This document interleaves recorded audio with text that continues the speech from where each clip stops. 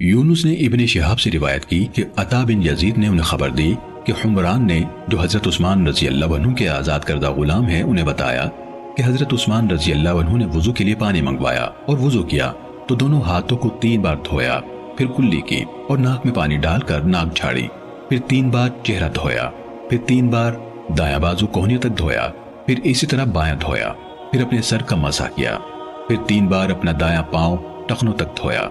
फिर इसी तरह बाया पाँव धोया। फिर कहा, मैंने रसूलुल्लाह सल्लल्लाहु अलैहि वसल्लम को देखा था। कि आपने इसी तरह वज़ू किया, जिस तरह मैंने अब किया है? फिर रसूलुल्लाह सल्लल्लाहु अलैहि वसल्लम ने फरमाया, जिस शख्स ने मेरे इस वज़ू की तरह वज़ू किया, फिर उठकर दो रकातें अदा की। इन दोनों के दौरान में अपने आप से बातें न की। उसके गुजश्ता गुनाह मुआफ कर दिए जाएँगे। इबन शिहाब ने कहा, हमारे उलमा यानी ताबेन कहा करते थे कि यह कामिल तरीन वज़ू है। जो कोई इंसान नमाज़ के लिए करता है। सही मुस्लिम, हदीस नंबर पाँच सौ अड़तीस।